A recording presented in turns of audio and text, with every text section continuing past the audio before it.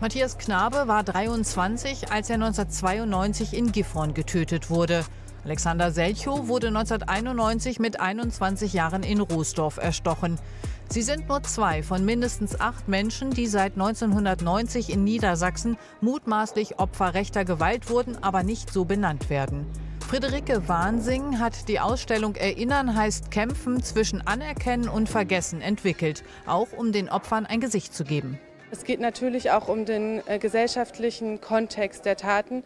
Die ähm, Menschen wurden nicht wahllos ermordet, sondern weil sie bestimmten Gruppen zugeordnet wurden, die äh, in rechter Ideologie als Feinde, als unwertes Leben markiert werden und als solche verfolgt und auch zum Teil vernichtet und ermordet werden. Die Ausstellungsmacher fordern, die Delikte als rechte Gewalt einzustufen. Sie haben für die Ausstellung auf Recherchen von Zeit Online und Tagesspiegel, aber auch auf antifaschistische Quellen und Zeitzeugeninterviews zurückgegriffen.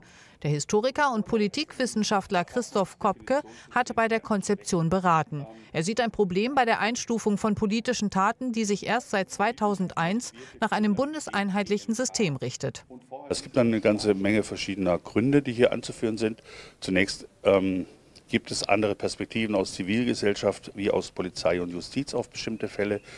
Ähm, es werden Motive unterschiedlich gewertet. Wir haben oftmals komplizierte Tatgeschehen, wo man nicht so einfach auf den ersten Blick oder auch manchmal auf mehrere Blicke nicht sagen kann, was war jetzt tatsächlich handlungsleitend. Ähm, wie weit spielt die rechtsradikale Gesinnung beispielsweise des Täters tatsächlich eine Rolle? Auch im Fall des getöteten 15-jährigen Akan gibt es unterschiedliche Einschätzungen über das Tatmotiv. Der Sohn von Kochakidir wurde vor drei Jahren in Celle erstochen. Der Fall ist nicht Teil der Ausstellung. Aber die Jesidin sieht auch nach dem rechtskräftigen Urteil politische Tatmotive. Es wurde gesagt, der Täter hatte kein rassistisches Motiv. Er kannte meinen Sohn nicht. Er wurde ermordet, weil er dunkle Haare hatte.